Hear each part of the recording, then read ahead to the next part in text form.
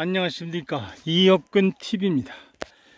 아 저녁 낮을 때 보니까 아주 더욱 더 아름답네요. 여기가 지금 제 2의 농장 입구라고 하는데 뭐 입구라고 할 거는 없고 그냥 저냥 예. 예, 윤곽은 좀 어느 정도 드러나고 있습니다만은 아주 아주 힘드네요. 여기 이제 터널 같이 이렇게 굴, 같, 굴 같아요 굴 터널 같이 이렇게 깊이 예, 들어가서 이제 가장 가장자리 이 나무 어, 순으로 친 거를 이제 담을 이렇게 담이 됐어요. 이렇게 쭉 보면 담이 됐어요.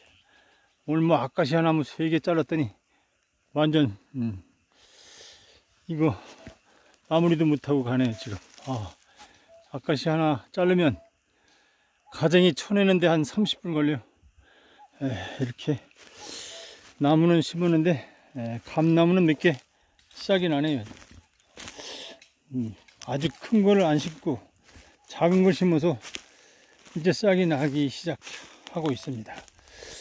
저렇게 이제 번도는 이제 이렇게 훤히 드러났어요. 이렇게 이제 저게 이제 말로 비틀어지면 와서 가생이로 치는 것밖에 치는 거가 이제 우선인데 예, 며칠 있다가 또 오겠습니다.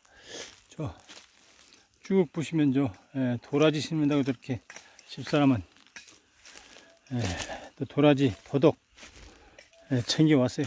그래서 이제 오늘은 7시간 넘어서 마무리하고 대전으로 갈까 합니다. 한번 쭉 보시면 일이 엄청나죠. 원시인이 살았던 원두막 같이 이렇게 집사람이 이렇게 하루 종일 못질하고 나무 해서 칡으로 엮고 해서 이렇게 원두막을 쳐놨습니다.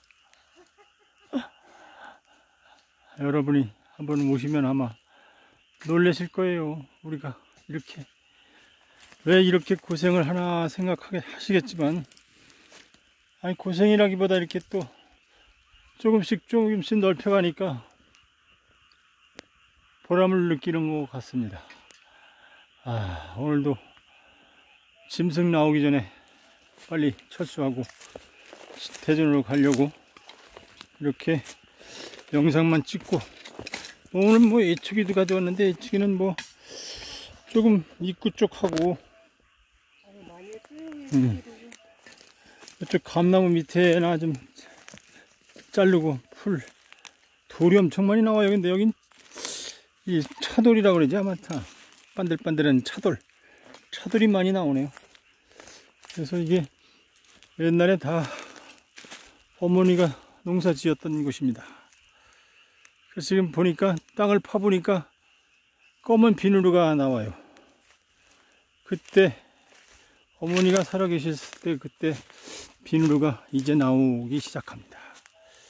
어, 뻔나무도 펴버렸고 아카시아 나무 기둥을 4개를 해서 원두막을 이렇게 아직 완성은 안 됐지만 지금 좀 차츰 완성 단계에 향하여 가고 있습니다. 오늘 저쪽에 보면 아직도 저기는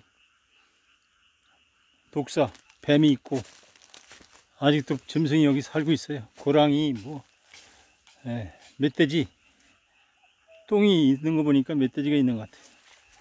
그래서 멧돼지가 나오기 전에 우리는 철수하기로 하겠습니다. 오늘도 신나게 땀 뻘뻘 흘리며 일했습니다. 아, 나중에 마무리되면 그 땀 흘린 보람이 그때 나타날 것 같은 생각이 들어서 오늘은 기분 좋게 대전을 향하여 가겠습니다. 오늘도 구독해 주셔서 감사합니다. 시청해 주셔서 감사합니다. 이업근 TV였습니다. 감사합니다.